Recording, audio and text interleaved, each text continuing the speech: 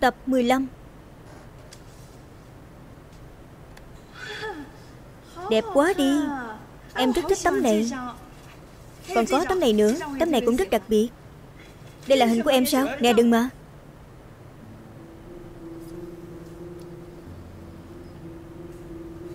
Là hình Lâm Thư chụp hôm đó phải không?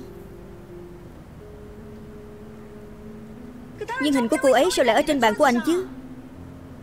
Bởi vì anh đưa cho cô ấy, Nhưng mà cô ấy không chịu, Cho nên em Em điên sao? Anh hướng thần, Em biết trong lòng của anh chỉ có Lâm Thư. Nhưng cô ấy đã tuyệt tình như vậy rồi, Anh có cần thiết phải vậy không? Trên đời này không còn con gái nữa sao?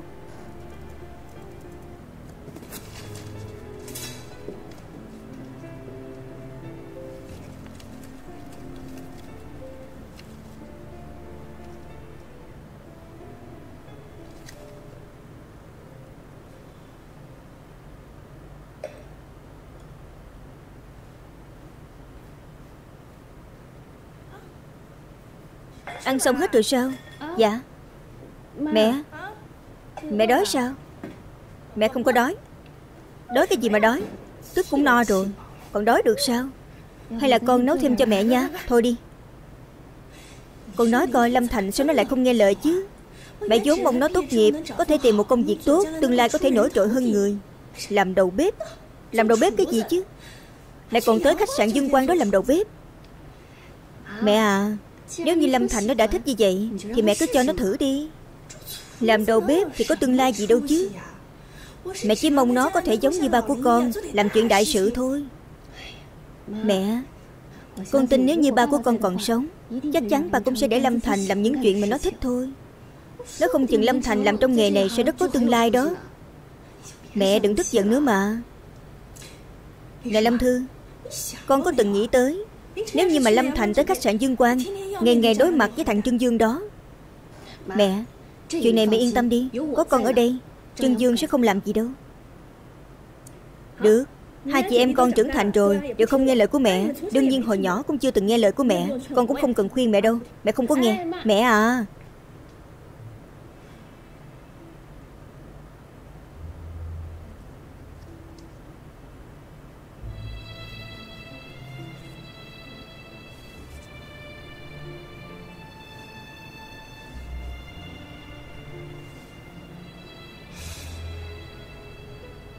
Hướng thần Em biết trong lòng anh chỉ có Lâm Thư. Nhưng mà cô ấy đã tuyệt tình với anh như vậy rồi. Anh cần gì phải làm như vậy? Trên đời này không còn con gái hay sao? Phải. Mình việc gì phải hạ mình. Trên đời này con gái nhiều mà.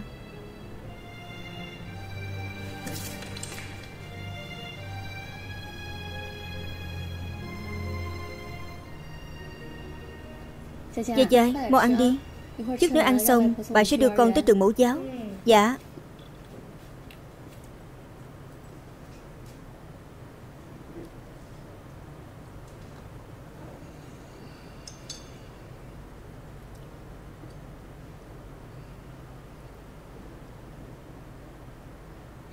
Mẹ. Hôm nay sao con thấy Sắc mặt của mẹ đẹp quá nè? Không trang điểm phải không? Trang điểm chưa vậy? Nhìn như là thiếu nữ 20 vậy đó. Đẹp thiệt đó. Đẹp lắm. Con nói thiệt. Ăn sáng đi. Làm việc ở trong bếp Không cần ăn sáng nữa phải không? Ăn cơm đi.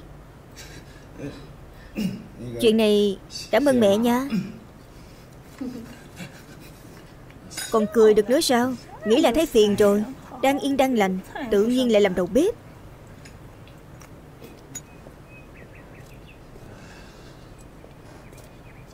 Được rồi, em đi trước đây. Được rồi, Tạm biệt nha.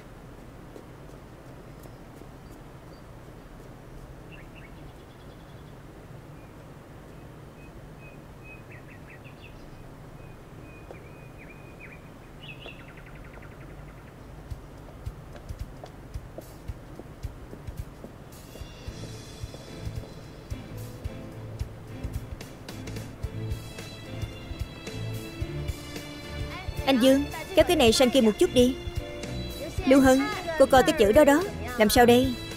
Hình như hơi mỏng manh. Cái này còn mỏng sao? Phía sau kìa. Phía sau nên rộng chữ một chút. Anh hướng thần.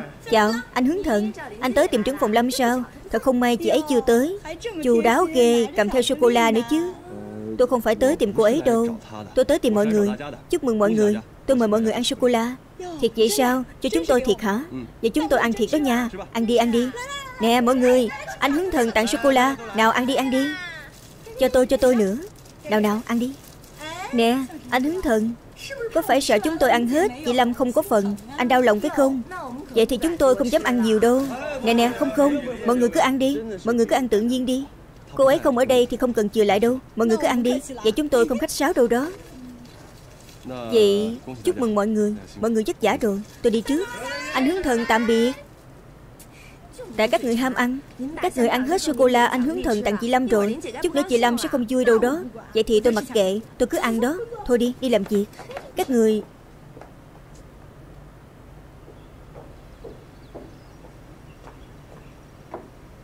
Đây, Mời anh uống nước.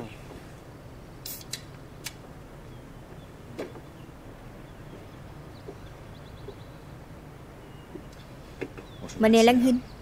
Ngày nào em cũng chạy tới chỗ của anh. Nếu chồng của em nhìn thấy, Chắc chắn sẽ rất tức giận. Anh là anh trai của em. Lúc mà em quên biết anh, Còn không biết anh ta đang ở đâu. Lấy tư cách gì mà tức giận chứ? Phải rồi. Buổi tối hôm đó, Chính là cái buổi tối hôm anh uống rất say. Chúng ta có chuyện gì vậy? Anh hướng thần. Chẳng phải em nói rồi sao? Chuyện này anh đừng nhắc nữa mà. Nhưng rõ ràng là sáng hôm sau.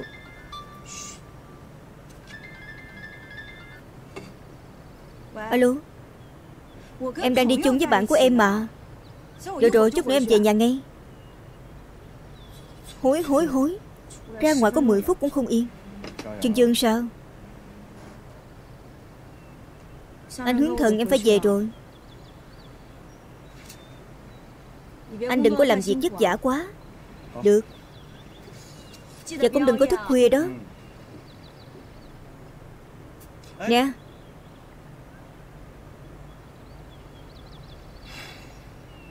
Hỏi cả buổi trời cũng không được gì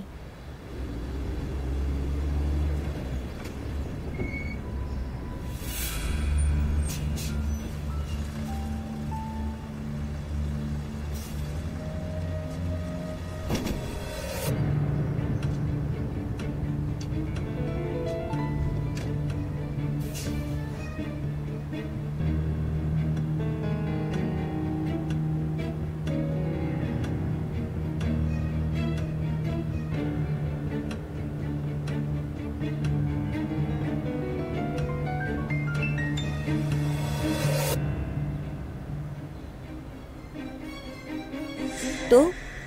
Rất tốt. Chiến dịch quảng cáo của khách sạn Dương Quang chúng ta lần này thật sự làm rất thành công. Ngoài ra thì, khách sạn của chúng ta đã có sự hợp tác khá thành công với cô diễn viên Lưu Mộng. Hơn nữa cũng đạt được mục đích quảng bá rộng rãi về khách sạn Dương Quang của chúng ta. Thì tôi tin tưởng rằng, sau này có người nhắc tới khách sạn, Họ sẽ nghĩ ngay tới khách sạn Dương Quang của chúng ta. Đồng nghiệp ở bộ phận PR lần này biểu hiện vô cùng xuất sắc. Cho nên, mọi người hãy cho một tràng vỗ tay đi.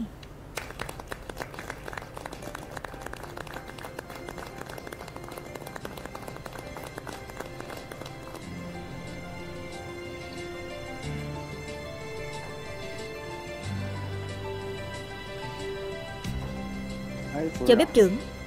Không tệ đâu, Lâm Thành. Tài nghệ của cậu chưa từng được đào tạo chính thức. Nhưng mà cậu rất chăm chỉ. Thái độ này của cậu Cậu phải tiếp tục Duy trì nó đó. Cảm ơn anh. Tôi nhất định sẽ cố gắng.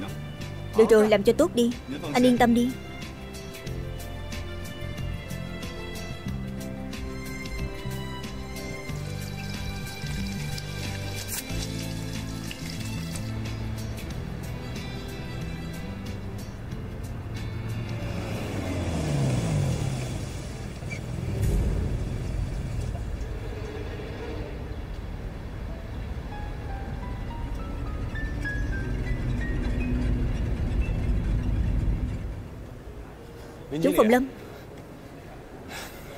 Hoạt động quảng cáo lần này cuối cùng cũng hoàn thành. Chúng ta có thể thoải mái rồi. Cho dù là có chuyện gì, Lần hợp tác với cô khiến tôi rất vui. Tôi cũng rất vui. Hay là như vậy, Bây giờ chúng ta đi ăn mừng đi được không? Không cần đâu, Nhà của tôi còn có việc, Anh đi đi. Trưởng phòng Lâm Con người của tôi tương đối ngốc. Nếu như tôi thật sự làm điều gì đắc tội với cô, Thì cô nói tôi biết đi. Đừng để tôi đoán Tôi đoán không được đâu.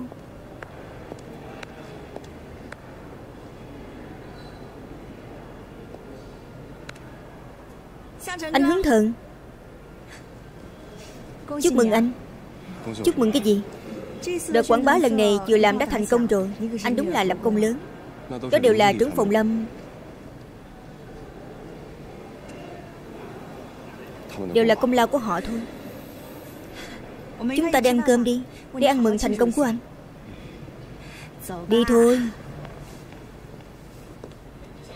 Cậu thấy hôm nay học thế nào Thầy giáo có chút nghiêm khắc đó. Nếu thầy thoải mái một chút, Mình nghĩ sẽ làm tốt hơn. Phải không đó? Có lẽ là vì tay nghề của cậu giỏi hơn mình. Chưa chắc đâu. Đừng vậy mà.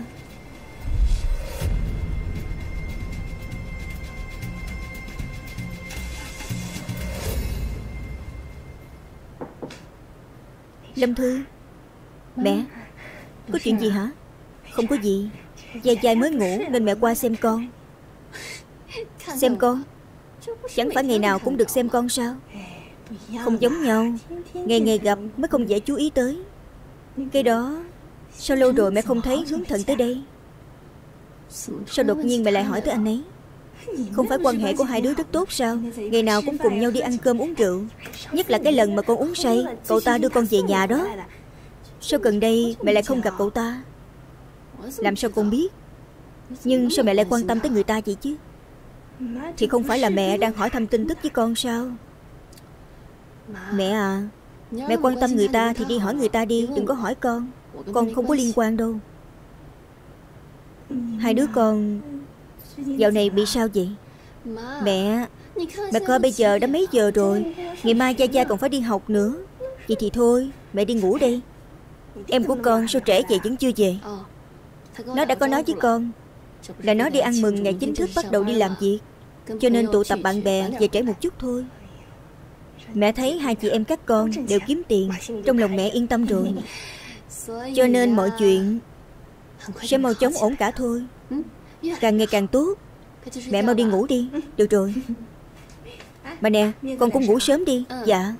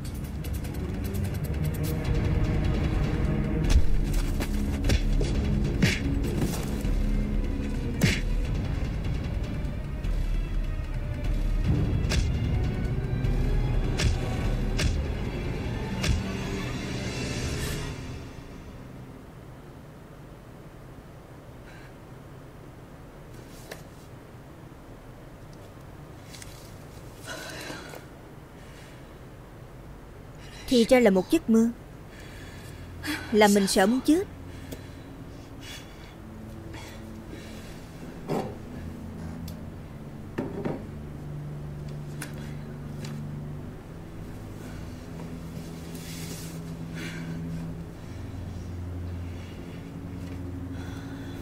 Ôi trời ơi, Tim đập thình thịch luôn.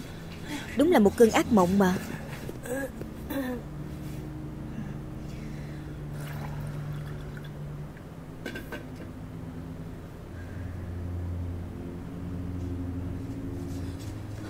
Mẹ.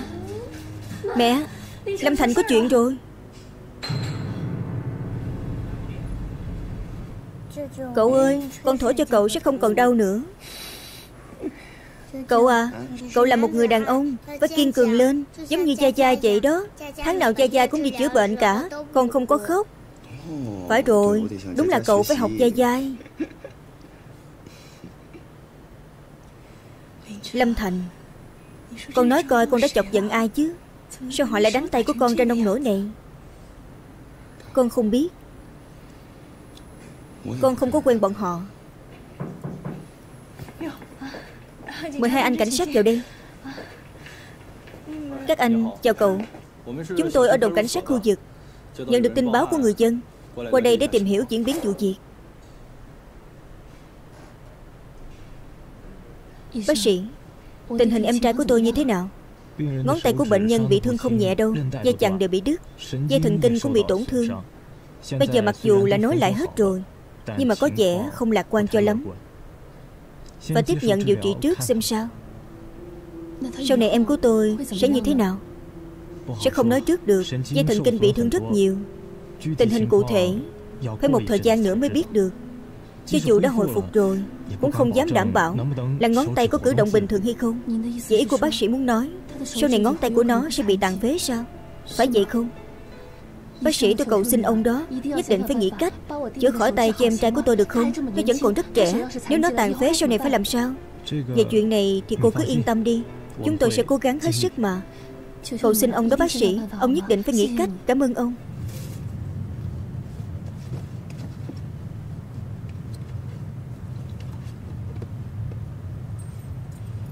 Cậu Trương, Cậu xem thử trên xe có cái túi ni lông nào không? Hoặc là túi giấy cũng được, Đưa cho tôi với. Túi ni lông. Cái này có được không, ông Đặng? Chỉ có cái túi này thôi sao? Hình như sau xe còn một cái túi Hermes lần trước ông mua. Cái đó có được không? Thôi được rồi, Để tôi lấy cái đó.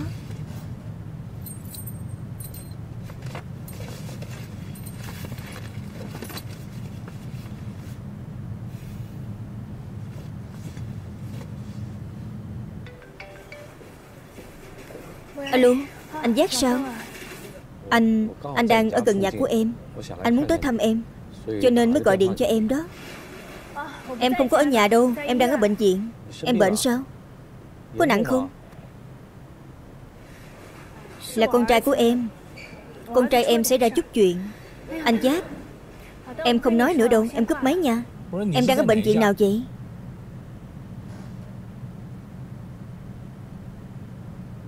Nè Vũ Minh, Cô với bạn trai cô gần đây sao rồi?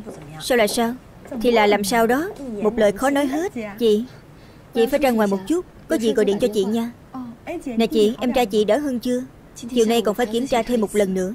Nếu như bệnh viện kiểm tra có kết quả tốt Thì có thể về nhà nghỉ ngơi. Cảm ơn hai em đã quan tâm. Đi nha. Dạ từ từ thôi.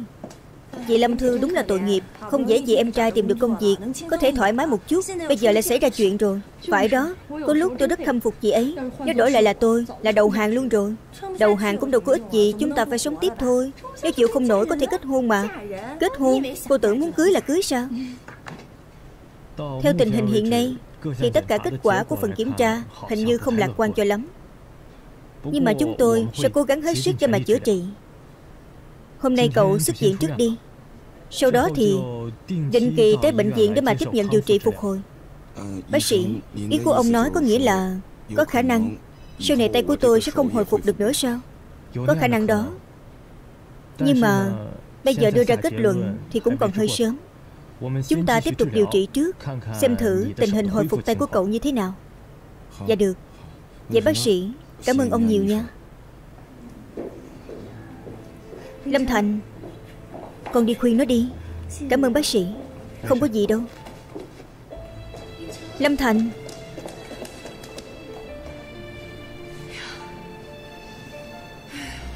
Bây giờ phải làm sao đây? Nè Lâm Thư à Lâm Thành bây giờ nó phải làm sao đây? Mẹ Mẹ đừng quá lo lắng. Gia Gia sắp tan học rồi. Mẹ đi đón nó về đi. Lâm Thành không có chuyện gì đâu. Con sẽ đi tìm nó. Được rồi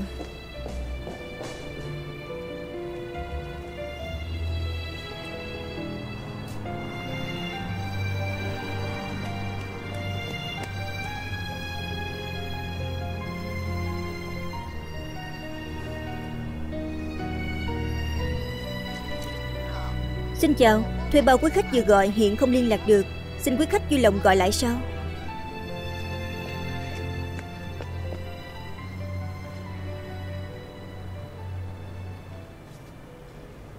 Bà ngoại, bà nhìn kìa Cái ông hôm đó có đúng không? Lý Tinh Sao lại tới đây? Dài dài Anh nghĩ em sẽ tới đón thằng bé Cho nên anh đã tới đây đợi em Sao vậy Rốt cuộc là sao rồi? Em nói cho anh biết đi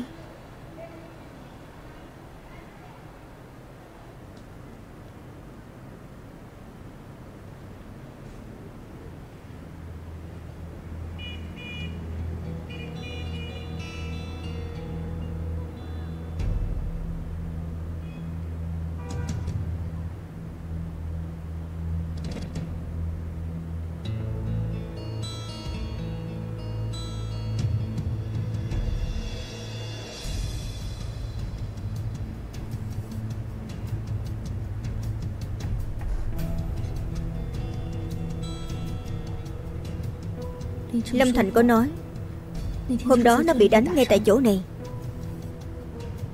Chuyện của Lâm Thành, Tôi không thể can thiệp được. Cô bắt buộc phải can thiệp cho được. Tới lúc chuyện gì xảy ra Thì đừng trách tôi không nhắc nhở cô. Không lẽ lại là anh ta cho người đánh nó?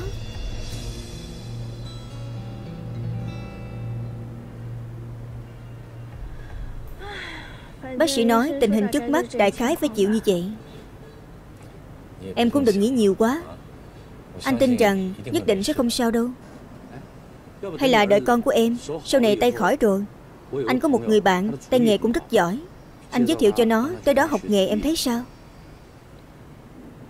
Nhưng mà cho dù sau khi khỏi rồi cũng không biết Là tay của nó có làm được việc nữa hay không. Đừng có bi quan như vậy. Chuyện gì cũng phải nghĩ theo hướng tích cực hơn nữa anh tin rằng bây giờ nó Cần nhất chính là em đó. Động viên và an ủi nó nhiều hơn đi. Em nên nói cho nó biết. Đường nào rồi cũng tới La Mã. Có chí ác sẽ thành công. Chỉ cần trong lòng nghĩ tới chuyện mình muốn làm, Nếu như có chí, tương lai chắc chắn sẽ làm được mà. Phải có lòng tin chứ, phải không?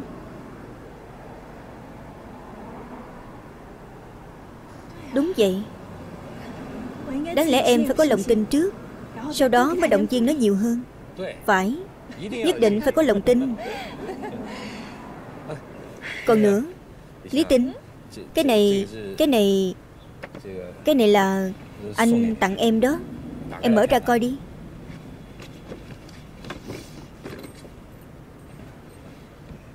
Em thích không? Cái bóp này anh mua ở chợ đêm, Giống như cái mà em đã thấy hôm ở siêu thị Bách Quá Nhưng mà chẳng qua Là mua ở chợ đêm thôi. Đúng là như vậy. Vừa nhìn là biết hàng giả rồi. Túi đựng cũng để sai luôn.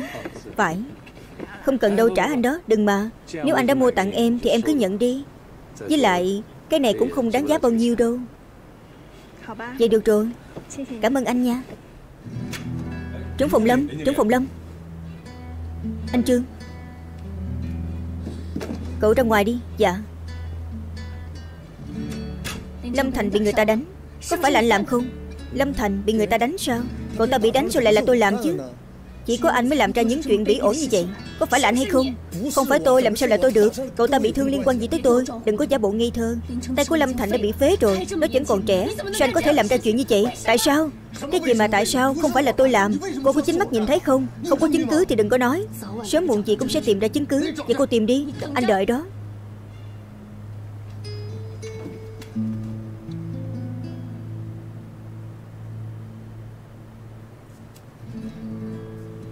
Trưởng Phùng Lâm bị sao vậy? Sao lại tức giận như vậy rồi?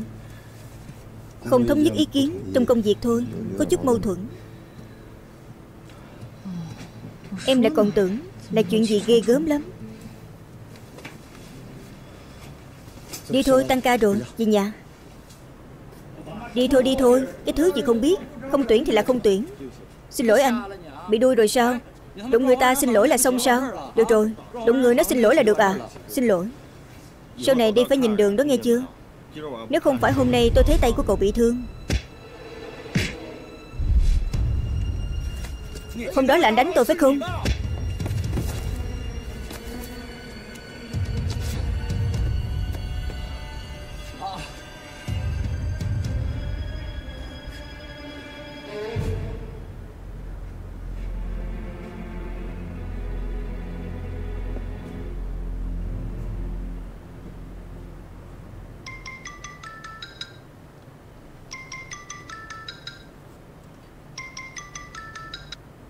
Alo xin chào.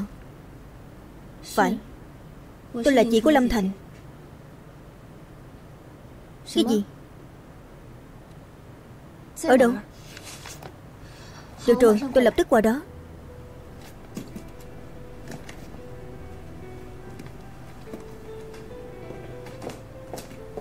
Lưu Hân, Vũ Manh. Chị có chuyện cần phải ra ngoài. Tài liệu này chỉnh lý giúp chị nha. Chút nữa chị sẽ về xem Dạ được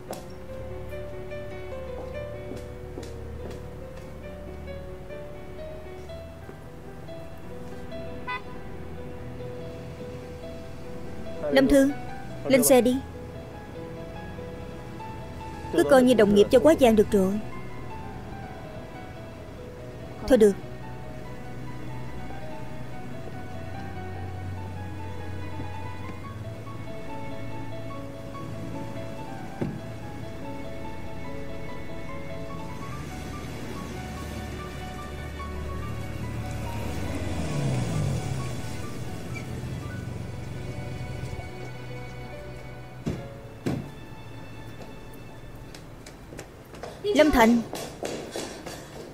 Sao không?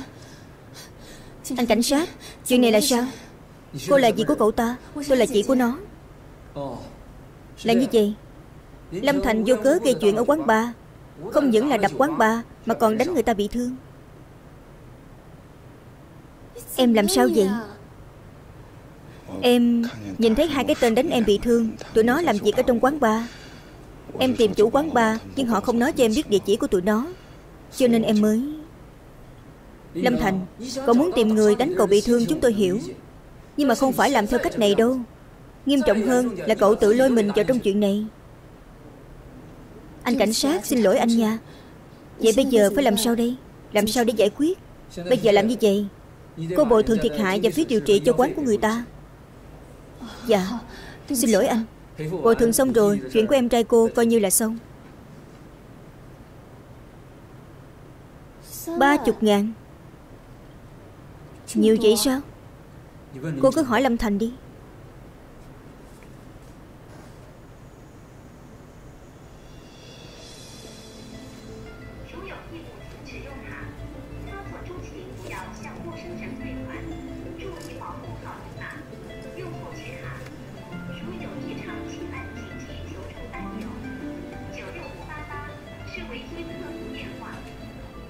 Chị Em xin lỗi. Em Em gây quả rồi. Chị không cần phải rút tiền đâu. Em bị nhốt mấy ngày là về rồi. Sao chị có thể để em trong này được? Em đang nói cái gì đó? Em đừng có lo. Chị sẽ nghĩ cách mà. Yên tâm nha.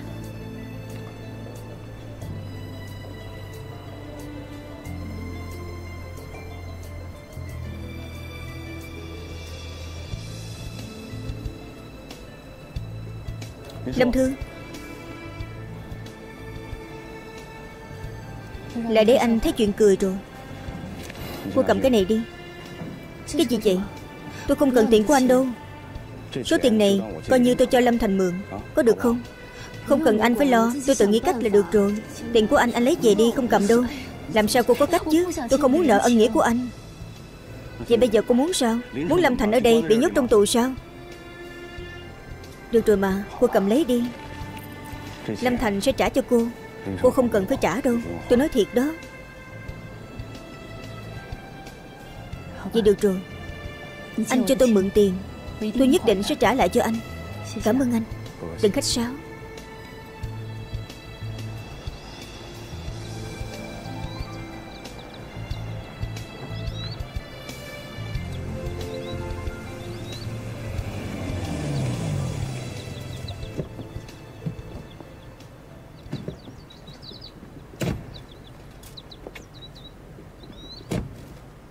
Cảm ơn anh. Làm không tệ đâu. Rất đàn ông. Nhưng mà nhớ cho kỹ, Lần sau không được để cảnh sát bắt nữa đó. Lần sau sẽ chạy nhanh một chút. Được rồi. Đi thôi. Nè, anh gì à? Làm phiền anh rồi. Lâm Thư.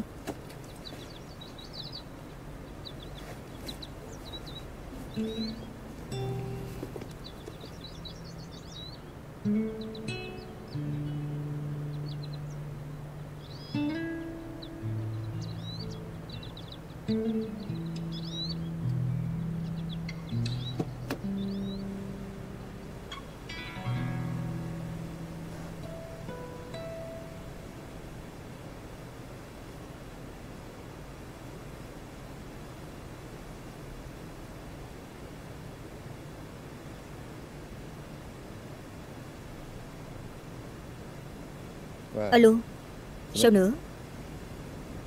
Cái gì? Suýt chút nữa bị người ta bắt. Đúng là ngu ngốc. Cho tiền tụi nó Kêu tụi nó cút đi.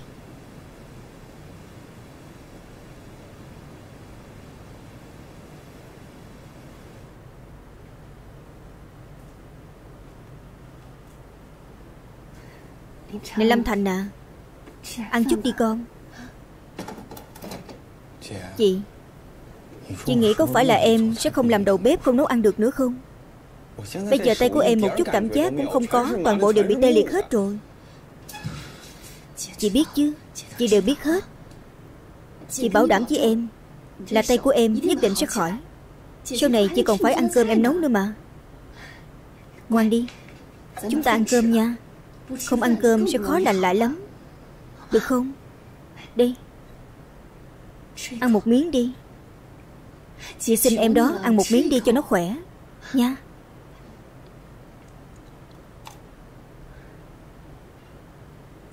Ăn thêm đồ ăn đi.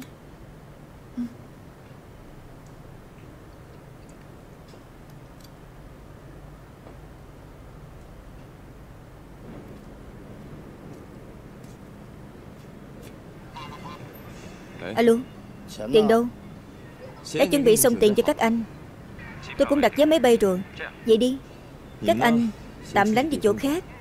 Chờ sóng gió qua rồi, Tôi thông báo cho các anh về. Anh, Mình được ra nước ngoài hưởng thụ phải không? Thằng nhóc đó ra tay cũng nặng thiệt. Trước khi đi phải cho nó thêm một trận. Anh à Vậy ý anh là phế luôn tay còn lại của nó sao? Không cần. Nó còn một cô chị mà phải không? Đi.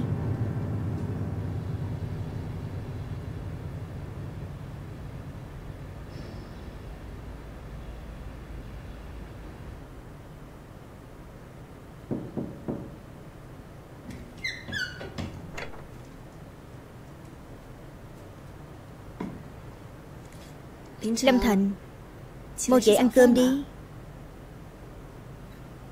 Lâm Thành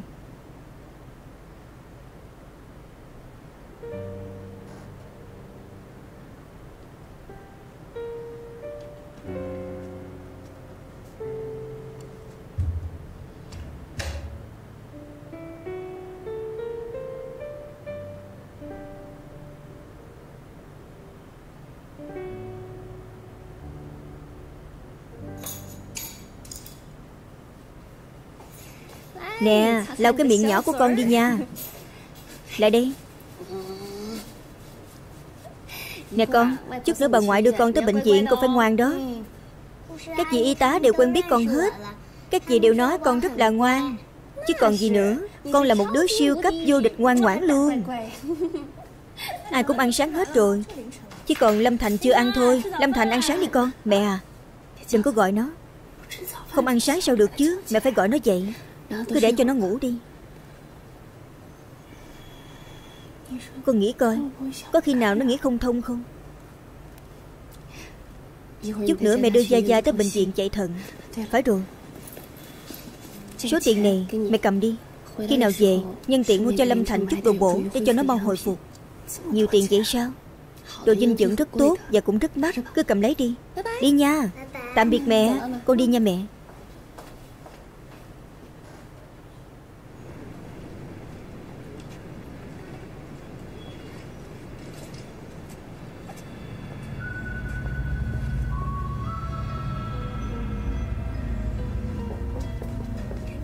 Chào trấn phùng Lâm. Chào cô. Lâm Thư. Ra đây với tôi đi.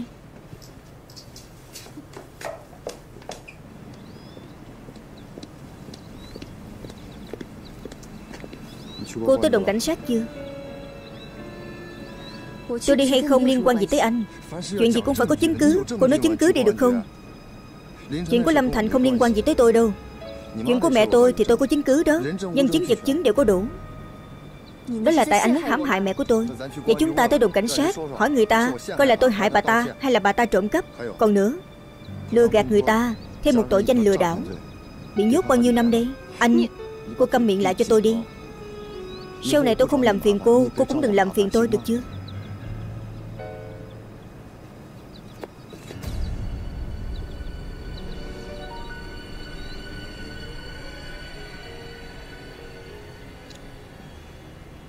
Hướng thần. Trấn Phụng Trương, chào anh. Tôi có xem bộ ảnh quảng cáo anh chụp rồi, Chụp không tệ nha. Ông Đặng đặc biệt hài lòng, Chúc mừng anh. Cảm ơn. Tôi chỉ hoàn thành công việc của mình thôi. Anh làm sao vậy? Trạng thái tinh thần không tốt. Hai ngày nay nghỉ ngơi không tốt. Chú ý sức khỏe đó. Sức khỏe là quan trọng nhất đối với chúng ta. Cảm ơn nha. Tôi đi đây.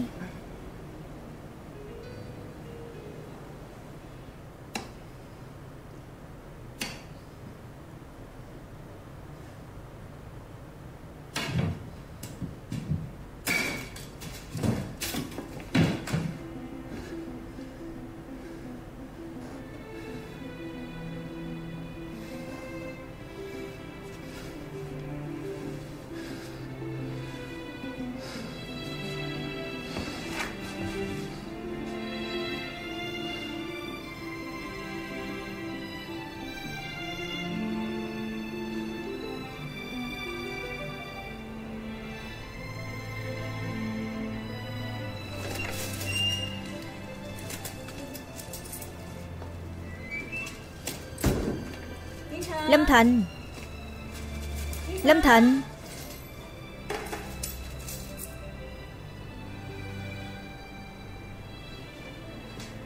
Lâm Thành Sao con lại ngủ trên sàn? Mau dậy dậy đi. Mẹ mẹ về rồi. Sao con lại ngồi đây? Khi nãy con không cẩn thận, Để con làm cho. Đây, để con nhặt cho. Cứ để mẹ dọn đi không sao đâu con.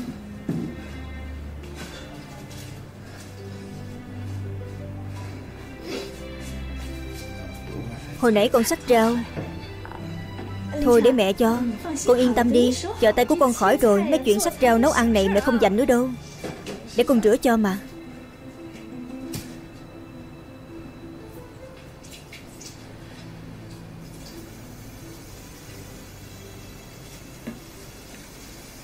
Mấy người làm ăn kiểu gì không biết? Ra tay nặng như vậy, Đánh phế tay của Lâm Thành rồi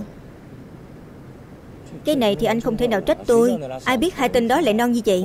Tôi nói với tụi nó chỉ là hù dọa thôi. Lâm Thư hôm nay tới đồn cảnh sát rồi. Biết rồi. Có lẽ không biết chúng ta làm đâu. Vậy còn đỡ. Nhưng mà anh yên tâm đi. Hai tên đó tôi sắp xếp rồi. Cho ra nước ngoài hết rồi. Hôm nay sẽ đi. Sau này làm chuyện gì cũng phải tìm người có kinh nghiệm. Nếu không là có chuyện đó. Phải rồi. Tôi cũng muốn tìm người có kinh nghiệm nhưng mà không đủ tiền. Làm sao mà tiền? Tôi có đưa ít tiền cho anh đâu. Không phải tôi muốn đòi tiền anh đâu. Quan trọng là tôi. Tôi không có công việc chính thức. Làm gì có cơm mà ăn chứ. Nếu như anh sắp xếp tôi vào khách sạn Dương Quang Là ổn rồi. Mau đuổi Lâm Thư đi khỏi. Tôi đưa anh vào Dương Quang. Được thôi. Chuyện của tôi anh nhớ là được.